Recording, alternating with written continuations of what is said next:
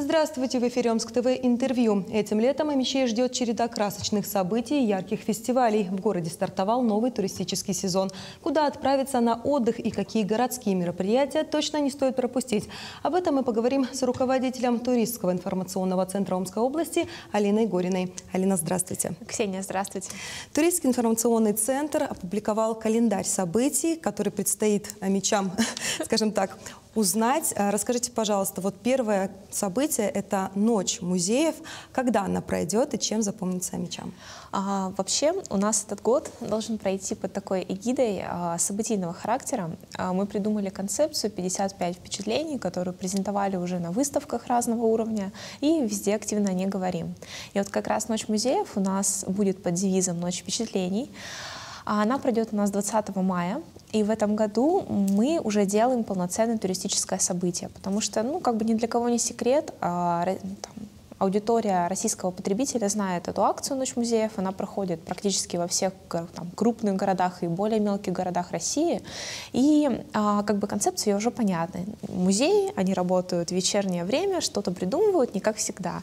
Но у нас а, это в Ночь музеев всего таких, наверное, несколько в России. Это вот Екатеринбург, Санкт-Петербург в подобном формате проходит. И, в принципе, наверное, все. Ну, может быть, там кто-то меня поправит. Еще в некоторых городах похожая история реализуется. Но наша Ночь музеев соединяется в огромный-огромный праздник культуры. У нас э, в этом году будет 40 э, участников, 39 стационарных локаций и одна локация в формате улицы. А, четыре у нас дневных участников, все остальные в основной вечерней программе.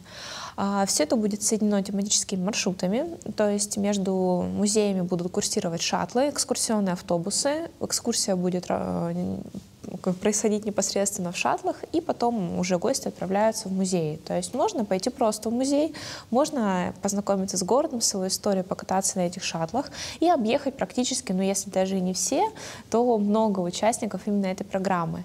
Также мы выходим на улицу в буквальном смысле, то есть на улице Валихановой, музейной будут у нас активности, концерты, медиации.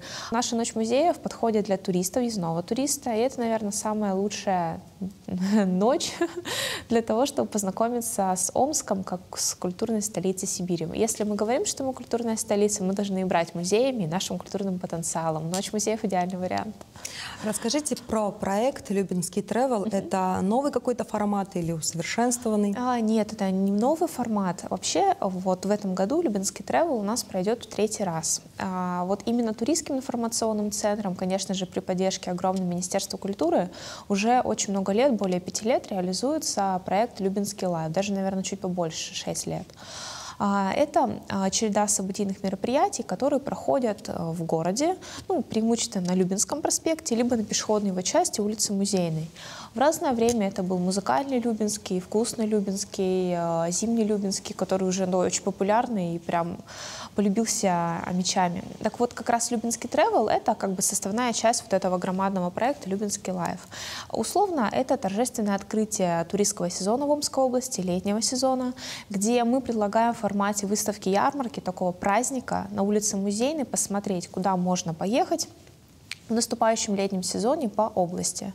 В этом году она пройдет как раз 3 июня. Мы, мне кажется, значительно докрутили формат. В прошлом году мы уже показали достаточно неплохую статистику посещений, и в этом году решили все-таки рискнуть, пригласить музыкантов, организовать концерт. У нас будут разные аниматоры работать, то есть а, мероприятие обрастет новыми фишками, безусловно, новыми участниками.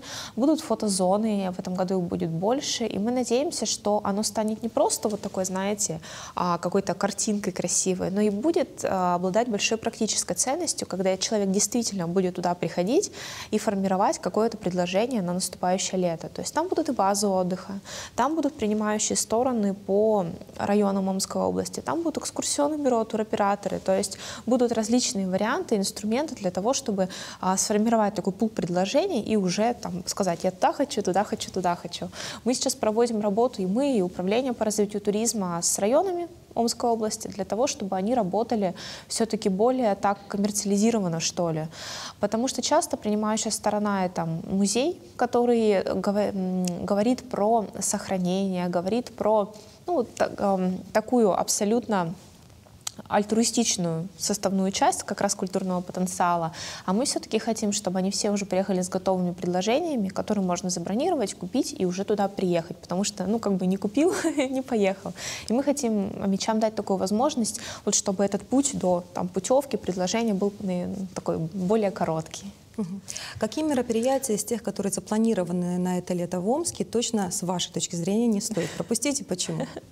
На самом деле, вот все, наверное, мероприятия, которые сейчас вот э, курсе, там, встречаются в информационном пространстве, в туристском центре, на сайте Омск, на сайте Туринфо. Это такие самые значимые мероприятия, которые прошли уже разные этапы отсеивания. Во-первых, со стороны нашего туристского информационного центра я, конечно, буду активно там, презентовать наши мероприятия, потому что, во-первых, над ними трудится огромная команда, и это ни в коем случае, там, знаете, мероприятие не про ТИЦ, не про нашу работу, а именно про регион, потому что это наша задача, вот собрать все самое лучшее в регионе и показать это уже там в разных вариантах для разных ЦА. Это Ночь музеев, открытие турсезона Любинский Travel.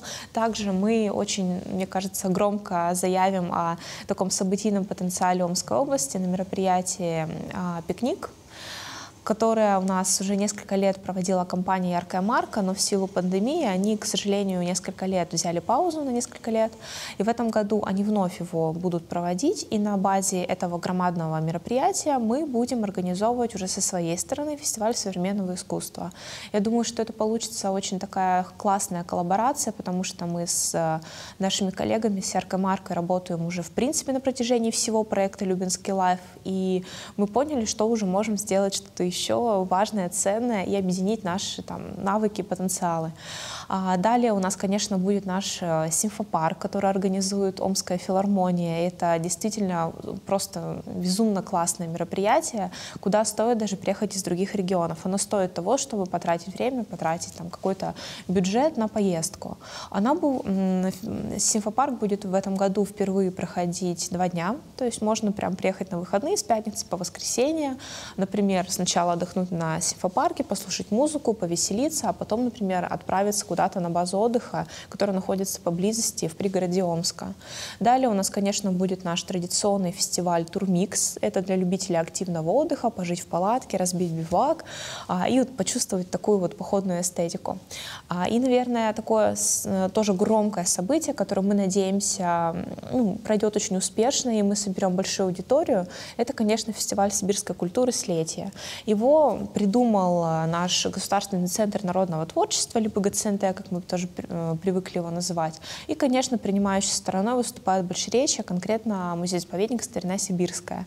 Это будет просто какое-то вот э, в самом наилучшем смысле безумие под открытым небом, когда все Большеречье станет огромной площадкой этнофестиваля, будут спортивные забавы старинные, будут мужские ремесла, будет Урало-Сибирская роспись, будет дегустация каких-то таких вот блюд региональной кухни с региональными компонентами, просто находок, которые путем очень таких больших глубоких исследований нашли ГЦНТ. То есть вот 16-17 э, июня, это точно нужно себе в календаре где-то пометить, всем мечам и отправиться в Большеречье. Там как раз э, открывается новое средство размещения. В июне, в начале июня можно уже будет посмотреть информацию о нем. То есть э, уже постепенно решается вопрос с недостатком как раз номерного фонда. К следующему году мы надеемся, что он будет еще лучше решен и более качественно. Также в этом году можно будет там разместиться с палатками. Поэтому тоже э, количество людей, которые могут приехать и провести несколько дней на фестивале, тоже, соответственно, увеличится. Далее, конечно, я не могу не сказать про другие праздники в старине сибирской. Это, например, такой очень классный праздник, мероприятие, мероприятие по традиционному русскому календарю. Это Иван Купала, тоже пользуется спросом у туристов. Ну и, конечно, мы, наверное, будем завершать лето традиционным экскурсионным флешмобом. И, в принципе, разные фестивали, которые Министерство спорта организует, спорта и молодежной политики, также филармония, частные предприниматели, тоже будет большое количество в Омске. Поэтому все будет очень удобно, классно сформировано у нас в группе ТИЦ на сайте Go Омск и, конечно, на других порталах Культура 55 Туринфо. Если говорить не о такой событийной да, новостной угу. повестке, а именно о туристических направлениях, маршрутах, угу. какие сегодня созданы возможно, есть новинки 2023 года? А, конечно, новинки то тоже есть, но это скорее А наличие этих достопримечательностей в любом случае мы уже знали. То есть сложно, наверное, в силу развития и инфосетей и прочего, что-то утаить и прям открыть с нуля. Но, тем не менее, мы будем стараться делать акцент не только на привычных каких-то направлениях, как большеречие, но и развивать то, что обладает потенциалом, но в силу разных обстоятельств недостаточно популяризировано. Например, я думаю, что в этом году активнее будет развиваться Крутинский район, это отдых на озерах. Мы привыкли, что если мы хотим насладиться природой, мы едем в Муромцево, но, тем не менее, Крутинка ни разу не уступает, наверное, по аттрактивности, по красоте именно Муромцевским озерам. Также там есть различные варианты активного отдыха, то есть такое деление на сегменты тоже присутствует. А, конечно, а, наверное, нужно развивать близлежащий наш муниципальный район, это Омский район. И тут, конечно, есть разные новинки. Это разные базы отдыха, которые предоставляют не только там, проживание условно, а какие-то событийные, также локальные мероприятия, ну и, конечно, разные варианты такого а, досуга для релакса эмоционального и физического. Это разные варианты с термами. У нас открылась как раз база отдыха в сторону Подгородки по Серпятскому тракту, где у нас есть термос с йодобромной водой, сероводородный, тоже очень популярное развлечение, и оно, в принципе, сейчас популярно в нашей стране. Также есть стилизованные новые базы отдыха, то есть это тоже достаточно хороший сегмент отдыха, потому что а мечи, те, которые не поедут куда-то далеко отдыхать, они хотят в комфорте отдохнуть на базе отдыха по адекватной цене. И тут как раз ведется работа для того, чтобы все-таки эта возможность была. А, конечно, мы будем стараться развивать Калачинск, мы о нем очень активно говорим, говорили в прошлом году, но, наверное, все-таки туда пока туристов съездило недостаточное количество, чтобы можно было говорить о, ну, о том, что он стал уверенным направлением. И тут коллеги из Калачинска очень хорошо работают в этом плане. Они будут проводить событийные мероприятия на базе своего центрального парка, музыкальные при партнерстве с такими громкими большими организациями Омской области, для того, чтобы как раз привлечь молодежь, ведь Калачинск в формате выезда на уикенд, просто сменить обстановку, погулять, там, не знаю, провести фотосессию, да все что угодно, он подходит как раз для молодежного сегмента. Ну и э, тоже не сказала перед этим, крупное мероприятие будет у нас в Таре, и тоже мы бы очень хотели, чтобы Тара все-таки стала развиваться в плане туристических потоков активнее. А, туда уже сейчас хорошая дорога, то есть не нужно там закладывать 5 часов на дорогу, это не так долго, как кажется. И, ну, и мы, и наши коллеги будем работать по раскручиванию этого направления. А, вы упомянули то, что у нас в Омском регионе открываются новые точки, в том да. числе термы, да, и новые отели.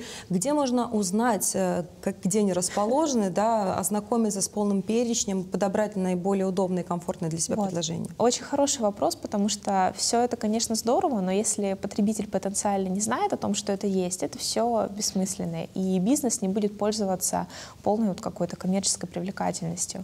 И мы как раз для вот этих нужд на нашем сайте Go to Омск. Это ну, такой главный туристический портал Омской области. Вот как раз к летнему сезону разработали интерактивную карту, когда можно выбрать сегмент, то есть направление туризма, которое тебе наиболее подходит, и как раз э, получить выборку самых подходящих локаций. Наши, наверное, постоянные там, читатели, наши друзья видели уже подобный путеводитель у нас в таком печатном формате, и теперь мы решили это переложить уже на такую цифровую площадку. Поэтому просто открываем сайт Голод э, заходим, открываем Омскую область, там открывается карта, мы выбираем, например, рекреационный отдых, и там на карте подсвечиваются локации, базы отдыха, которые мы рекомендуем. По мере того, как э, ну, мы будем приближаться к летнему сезону, мы будем добавлять локации, потому что их на самом деле очень много, и это все идет не так просто, как хотелось бы, но тем не менее мы работаем. И поэтому там есть прямой переход на сайт для бронирования, тоже очень удобно. Также сейчас на сайте наконец-то введен календарь событий, который мы ждали уже очень много. Поэтому если там турист либо местный житель хочет чем-то заняться в какой-то определенный день, он просто выбирает конкретное число, и там ему выпадают уже предложения, которые актуальны. То есть либо экскурсии по городу, какие-то культурно-познавательные программы, а, либо выезды по Омской области и для туристов въездных, и, соответственно, для местных жителей, и какие-то событийные мероприятия. Там деление по цветам, и там есть также кнопка для бронирования этого события, то есть на переход к организатору мероприятия, если ну, этот организатор не мы. Поэтому такие а, площадки потихоньку создаются. И вот, например, классный кейс с Большеречьем. А, Большеречье, ну, как бы, думаю, вы не поспорите, это самая популярная локация именно туристическая, куда едут а, куда едет аудитория из других регионов. Поэтому а, просто продвигать этого мало, нужно еще единую базу информационную создавать. И как раз в конце прошлого года был создан турпортал для Большеречья. Там есть уже навигация по всем доступным гостиницам населенного пункта, где поесть, что попробовать, где купить сувениры. Вот уже прям вот максимально исчерпывающая информация там уже есть. Теперь есть еще телеграм-канал по Большеречью и группа ВКонтакте. А, чем бы человек не пользовался, они готовы будут ответить на вопросы. То же самое мы стараемся сделать в ТИЦе для всех самых популярных локаций. Но самые популярные уже выходят на самостоятельные рельсы и помимо наших ресурсов уже обзаводятся своими. Это очень хорошо. Поэтому первое — это посмотреть наши сайты сайты Go Томск, группу ВКонтакте. Далее перейти, например, к первоисточнику, если в том населенном пункте уже есть визит-центр. Если мы говорим о форматах отдыха, угу. система под ключ да, полностью угу. или все-таки отдых таким дикарем? Что чаще выбирают амичи и чем выгоднее тот или иной формат? А, чаще выбирают все-таки отдых под ключ. А, все равно у нас амичи еще не, так, не избалованы информацией, и все думают, что а, сделать отдых самостоятельно, ну, то есть организовать его себе, там, найти билеты, куда-то поехать, это очень сложно. Ну, это вовсе не э, недостаток амичей ни в коем случае, это просто вот, ну, ну, такие обстоятельства, которые сформировались некоторое время назад в Омске заставляют думать так по сей день. Но на самом деле это не так сложно, как кажется. Есть плюсы и там, и там. А пакетные предложения — это минус твоя там, головная боль. Если особенно у тебя там загруженная работа, ты не хочешь э, засорять голову какими-то еще моментами, можно обратиться в клубы путешественников, к туроператорам по Омской области, либо там к экскурсоводам, если мы говорим о программах одного дня. И все, там главное прийти в назначенное место, все остальное будет организовано. А таких э, предложений уже довольно-таки много. Вот даже, например, в ТИЦе мы каждый понедельник публикуем расписание на выходные, то есть какие есть программы именно по выезду, и с перечнем туроператоров либо организаторов, кто это делает. Но на самом деле, наверное, мы будем развиваться тогда, когда каждый человек э, будет уверен в том, что он может для себя вполне комфортно организовать и самостоятельно путешествие. Поэтому а, тут, наверное, наша такая комплексная работа будет вестись и с Министерством транспорта, потому что одно дело рассказать, где там получить экскурсию, где какие программы проходят, а другое дело еще настроить грамотную логистику с автобусами, например, с теплоходом, потому что у нас работает теперь э, речная навигация, и многие туристы хотят поехать по воде, там, в тоже больше речи. Поэтому, когда мы все это все-таки соберем воедино, там, наше руководство, руководство Министерства транспорта, эм, получится хороший продукт, и человек будет жить с уверенностью, что он самостоятельно может поехать в любую популярную точку Омской области. Таких точек очень много. Ну и благо, более-менее уже до всех популярных популярных локаций хорошие дороги. Это больше плюс, что облегчает жизнь и нам, и всем остальным. Какой бюджет необходимо заложить на отдых по Омскому региону? А, смотрите, если мы говорим о, каком-то городском времяпрепровождении, потому что сейчас на самом деле большой популярностью пользуются городские экскурсии, например, с какой-то аттрактивностью, с дегустацией чего-либо, например, с заходом в какие-то а, локации, которые закрыты в обычное время без экскурсовода. Это примерно от 400 до 700-800 рублей за одного человека. Конечно, цена варьируется от компоновки, если есть какая-то дегустация, такой гастрономический компонент, цена возрастает. И, конечно, цена возрастает, если есть транспортное сопровождение разного формата. Если мы говорим об экскурсии одного дня по области, то это примерно от 1200 рублей. Конечно, цена может достигать и 3000 даже без ночевки, если это какая-то очень насыщенная программа, которая требует там, разного рода сопровождения. Ну, самый, наверное, бюджетный э, формат отдыха у нас будет в сторону озера Эбейты, потому что там проезд э, у нас складывается из электрички и такого небольшого автобуса, который уже ждет э, гостей в Москаленках. Это значительно удешевляет поездку и получается весьма бюджетно. Это вот примерно 1200-1500 в зависимости от компоновки тура и организатора. А, также, например, если мы будем говорить про какие-то активные предложения, активные предложения у нас в основном Ждут туриста в Калачинском районе, в Кормиловском, это сплавы. Тоже очень классной популярностью пользуются сплавы по ОМИ. И также Горьковский район, это походы, вот эти рельефы, там перепады высоты, очень здорово, классно, и такой пеший туризм. Там немножечко подороже, потому что, э, например, в Горьковском нет э, точек питания в некоторых местах, где проходит как раз пеший маршрут, и приходится организовывать такую, ну, в кавычках, полевую кухню с пикником, с какими-то уже продуктами заранее подготовленными. Вот. А если мы говорим все-таки про сплавы, про Калачинск-Кормиловку, то тоже это будет около 2000 или там 2-2500 за человека, но полностью подключится все организуется, во-первых, потому что это безопасность, оборудование, которое требует а, следования стандартам безопасности, и поэтому складывается такая цена. А, немножечко цены, скорее всего, мы прогнозируем, что подрастут по сравнению с прошлым годом, но только будет корреляция на стоимость транспортных средств, потому что в среднем стоимость экскурсии, в принципе, не выросла. Если только появляются новые предложения, ну, уже отталкиваемся от той цены, которая появляется у экскурсоводов. Но очень важный момент, что с 1 июля теперь у нас в стране обязательная аттестация гидов-экскурсоводов. Поэтому мы надеемся, что все-таки будет определенный элемент отсеивания. И даже если цена на каких-то этапах вырастет, человек будет получать уже более качественную услугу и проверенную услугу по сравнению, например, с предыдущими годами. Желаем нам всем хорошего туристического сезона в 2023 году. Спасибо большое за ваши ответы, Алина. Всего доброго. А я напомню, это было интервью с руководителем туристского информационного центра Омской области Алиной Гориной. В студии была Ксения Тоечкина. Увидимся в эфире Омск ТВ.